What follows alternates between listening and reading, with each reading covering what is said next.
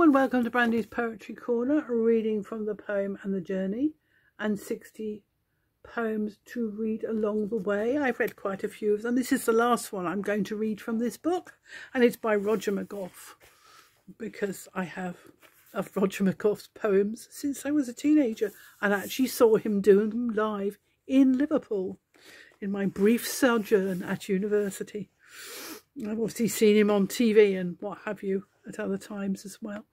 But um, this is called The Wrong Beds. And it's after Baudelaire, it says. So this is The Wrong Beds after Baudelaire by Roger McGough. Life is a hospital ward, and the beds we are put in are the ones we don't want to be in. We'd get better sooner if put over by the window or by the radiator. One could suffer easier there. At night, the impatient soul dreams of far away places, the Aegean, all marble and light, where upon a beach as flat as a map you could bask in the sun like a lizard.